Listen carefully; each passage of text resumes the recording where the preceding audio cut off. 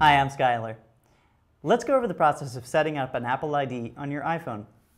Press your home button and slide to unlock.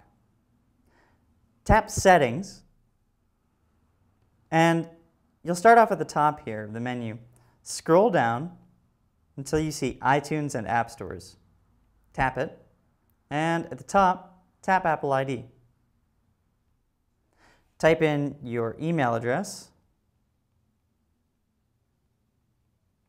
and your password.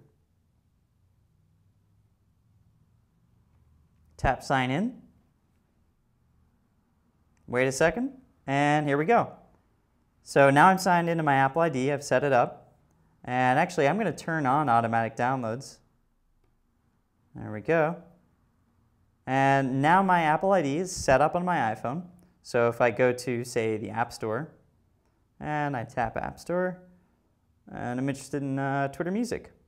Just tap there, tap Free, Install App, and we see that the app should begin to download in just one moment. That's it. You just set up an Apple ID on your iPhone. Thanks for watching and following along. My name is Skylar.